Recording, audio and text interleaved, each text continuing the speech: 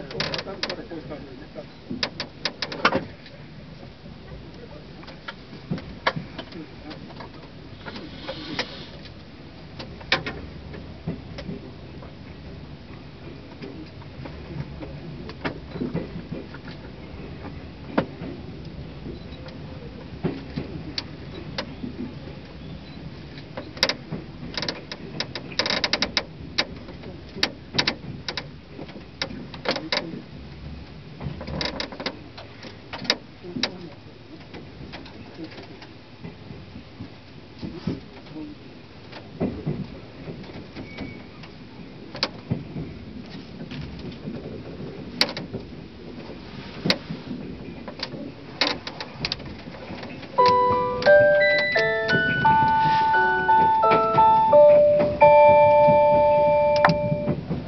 車をいたしました。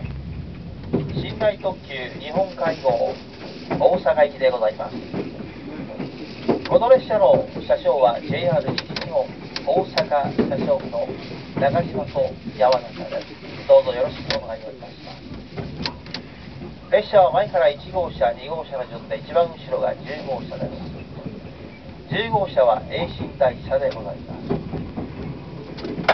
6号車は途中秋田までは座席指定車となっております。進行方向左側窓側の席から A 席 B 席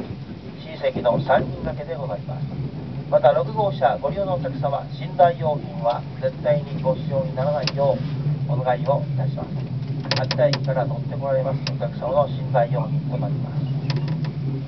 この列車には食堂車車内販売自動販売機の設置ございません。明日の朝朝食につきましては遅れがなければ7時頃から車内販売がございます。それまでございませんご了承ください携帯電話お持ちのお客様恐れ入りますが電気の方でお願いいたします次の新青森駅には19時37分弘前には20時13分大鰐温泉20時25分大館20時54分高野巣20時12分東野城21時秋田には22時28分に着きます秋田を出ますと羽後本町酒田鶴岡新津直江津糸魚川魚津富山に停まります富山には5時28分高岡5時45分金沢6時16分加賀温泉6時50分加賀温泉を出ますと福井敦賀京都新大阪大阪の順に停まってまいります京都には明日の朝9時51分新大阪10時21分終点大阪には10時27分に着きます。あと2分ほどいたしますと新青森駅に着きます。今日は寝台特急日本海号をご利用くださいましてありがとうございます。